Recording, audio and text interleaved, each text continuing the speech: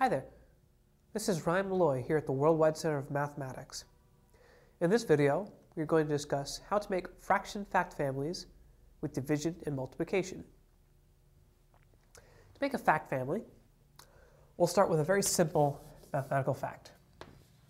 For Example, we'll say 3 times 6 is equal to 18. Easy enough. And we can also rewrite this by changing the order of these two terms, since multiplication is commutative. This fact is also true. From here, we can divide both sides of the equation by either one of these two factors to get another fact.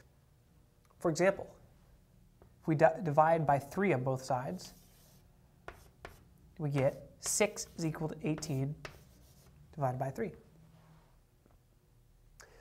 Similarly, we take this equation, or this one, and divide both sides by 6, we get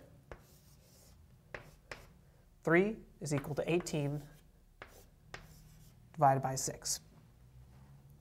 And if you wanted to take it a step further, you could also show 1 is equal to 18 divided by 6 times 3. And this process of making fraction fact families will work with any set of numbers that produce a true statement like that. My name is Ryan Malloy, and we've just discussed how to make fraction fact families with division and multiplication.